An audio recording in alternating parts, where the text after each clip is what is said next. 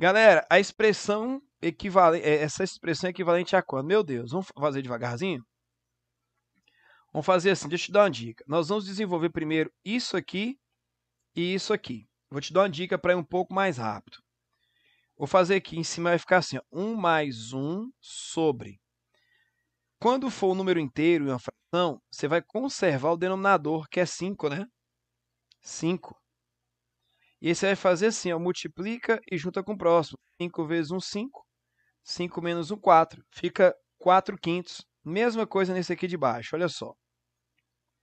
Tá menos 1 mais 3 sobre, ó, conserva 5. Deixa eu colocar de rosinha, né?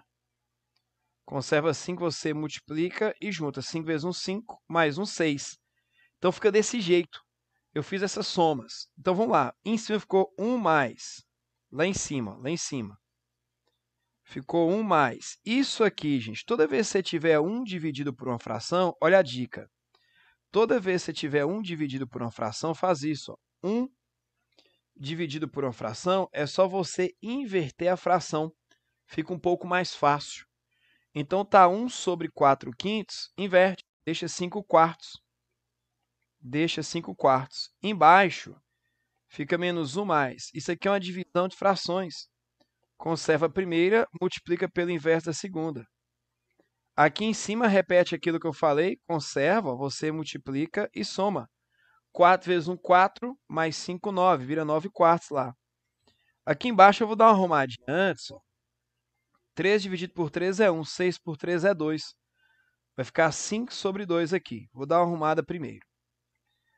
Em cima fica 9 quartos sobre embaixo. Conserva o 2, multiplica 2 vezes menos 1, menos 2. Menos 2 mais 5 é 3. Vai rolando divisão de frações. Ó. Conserva a primeira e multiplica pelo inverso da segunda. 9 por 3 é 3, 2 por 2 é 1, 4 por 2 é 2. Simplificando, vira 3 sobre 2 aí, galera, tá bom?